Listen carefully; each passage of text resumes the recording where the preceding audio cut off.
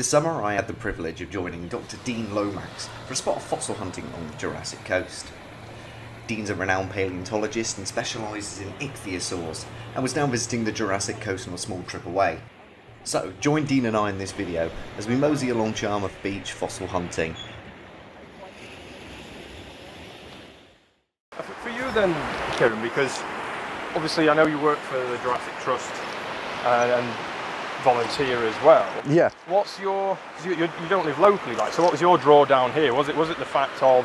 Because obviously I said for me it's research. It's for walking the footsteps of Mary Anning, and there's a, the entire history of Lyme Regis, the, the town here, and, and also, I should say, of course, meeting many of the, the locals down here and the other paleontologists and stuff. That Yeah. I always find is really fascinating. It's always good fun. Yeah, Yeah. So what, what's your kind of key draw down here? What's Well, I mean, again, it's, it's like with most people here, it's, it's the fossils. It is the fossils. I mean, I'd be lying if I said it wasn't. You know, I, I love fossils.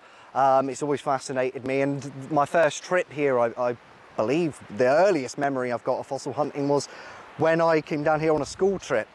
Yeah. And um, I, I found like a tiny little piece of Ichthyosaurus rib. And I was like, what, six or seven? And it's just stuck with me ever since. And I really do think that is what drove me to this. But whenever I come to the beach wearing my, my blue shirt, my Jurassic Coast Trust shirt, because I like being able to help other people have a good time and enjoy it. Because for me, part of my enjoyment of the Jurassic Coast is being able to help other people enjoy it and get the best out of it as well. Yeah. Because nothing makes me happier to see people actually finding fossils and really, because you can come here with your family on holiday and you go, oh, that was a load of rubbish, we didn't find anything. And then uh, they'll never come again. yeah, You know? Right, yeah, we'll just take a little seat, uh, sit down here. Um, and have a little look through some of the stuff that we found in the past and whatever we managed. Not found much today. Ah, not much today. What? Just a small piece of ammonite here that we got in, got in there. Yeah, that should fit out quite well. It's like a I need some- little Promicroceras or something. Yeah, I need some preparation Got to. impression on the back as well. So Oh, nice. nice. nice little bits though to have. It's also got stuff like that, obviously, just a bit of a Oh, beautiful. bit of a ammonite that's just eroded away. Obviously, just a fragment, the impression, and then you've got Yeah. some of the calcite, there on, on top, which would have filled some of the chambers.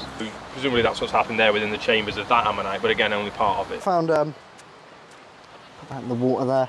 Yeah, because you've got Oh, you go, calcite yeah. crystals there as well. Yeah, yeah, Quite nice. yeah, so lovely.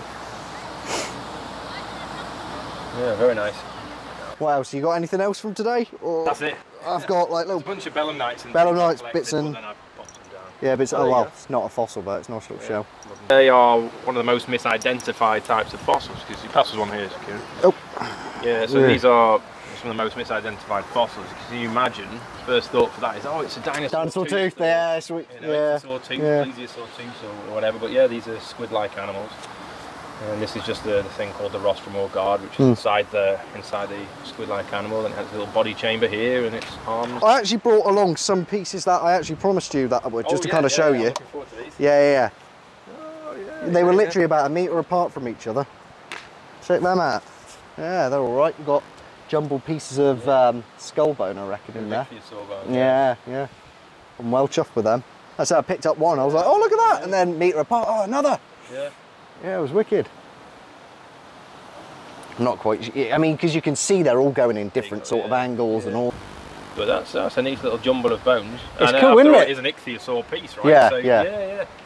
Nice. Just satisfying to have. yeah, it is. Yeah, Yeah. these are great. But obviously the uh, the gem of uh, the gem of my finds. That one Oh, yeah, there. Look at that. It's all right, that isn't it? Yeah, I found that one down. God, it would have been about two years ago when I went fossil hunting with Mike, Mike Harrison. All right. Yeah. uh, yeah. I asked Mike if he'd uh, take me down here to show show me where it's uh, how it's done. Lovely like that. Look at that. Beautiful teeth. And it just goes to show that you've just got to be in the right place at the right time. A- anybody, you, you don't have to be an expert. You don't even necessarily have to know what you're doing. You just need to know what you're looking for. Yeah. And it's right there waiting to be found. So It is often looked, but It is, yeah. yeah. very nice piece of ichthyosaur Yeah, quite jaw. chuffed with that. Yeah. Yeah, well, I had a feeling that you'd be quite interested in seeing that one. Yeah, yeah, really lovely piece. It's good.